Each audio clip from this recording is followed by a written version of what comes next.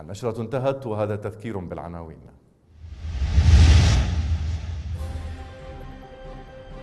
محافظ صلاح الدين يستحصل موافقة وزير الداخلية على تسريع إجراءات الدكتور أبو مازن لحسم ملف شرطة تكريت.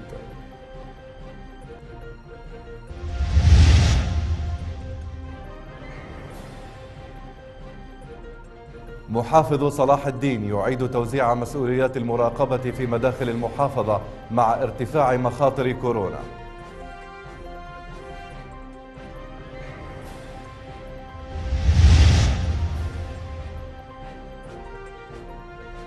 إشادة واسعة بقرار محافظ صلاح الدين اقتلاع جذور الفساد ورد الاعتبار لهيبة مؤسسات الدولة.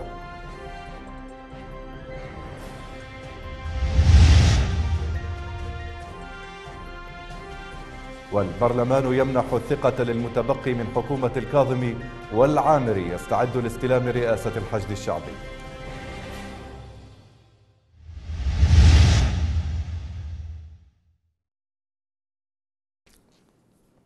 ختام هذه النشرة دمتم في أمان الله وحفظه